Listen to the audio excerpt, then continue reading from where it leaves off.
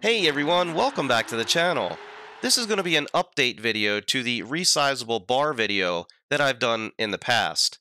Links for that will be down in the description. So I'm not going to get into what resizable bar is or how it can help you. If you want to know that, go down and click on the video down below, or you can click up here.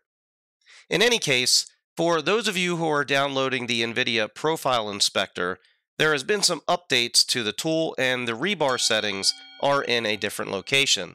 Once the inspector tool is open, we can either use the global settings or we can select Microsoft Flight Simulator from the dropdown. Next, we're just going to scroll all the way down to the common section. Here's where you're going to find the rebar options.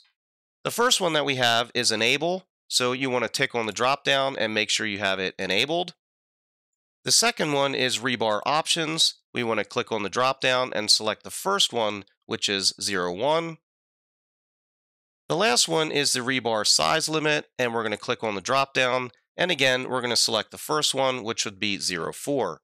Once you have that done, we're going to go up, hit apply and save, and you are all set to go. If the video helped you out today, make sure to hit that subscribe, tick on that little bell, and smash that thumbs up button. Keep the blue side up, my friends. We will see you on the next one. Thanks for watching.